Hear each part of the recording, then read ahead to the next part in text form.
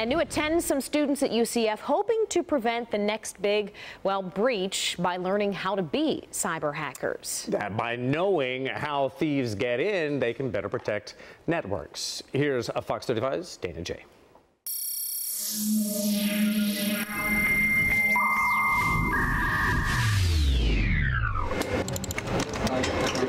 into a network in a matter of seconds. They're on their game, basically.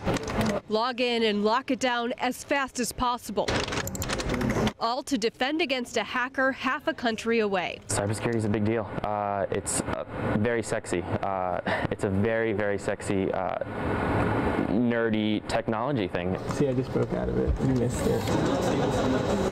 Here, it's also competition. These students are part of the University of Central Florida Cyber Defense Team. Their objective? As the good guys, we need to make sure that the system gets locked down and that it's still usable while we pre prevent the bad guys from getting in. Turn on uh, your IP address is 14.250. They spend hours a week practicing hacking and being hacked. It's my form of entertainment.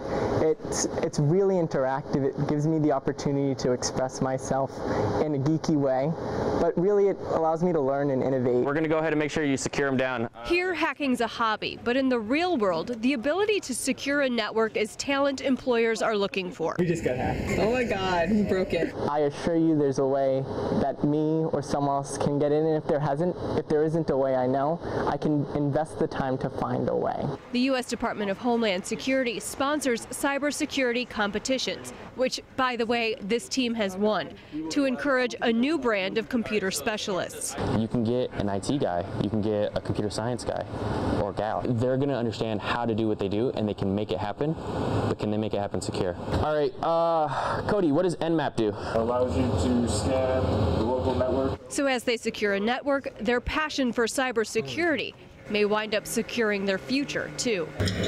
Dana J, Fox 35 News. I love technology.